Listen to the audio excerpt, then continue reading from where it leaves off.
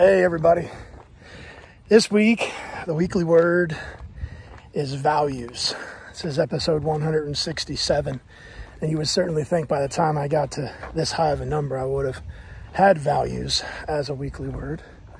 I think all the previous weekly words probably surmise the idea of values.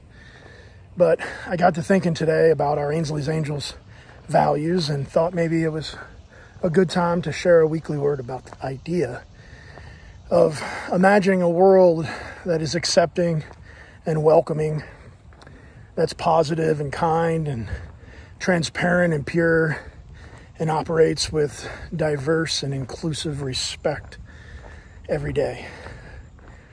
So grateful to have been afforded the opportunity to be part of this Ainsley's Angels of America family that uses these values as a guide. And as we think about our lives and the type of life we want to live and the type of life we want to leave and be known as or for, I think it all comes down to imagining today what are those values that drive your everyday actions.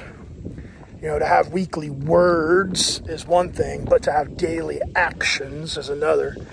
And if we can live in a space with other people that allows us to be unapologetic about what we believe, and as a result of that being so freely shared, that we're in a position where we can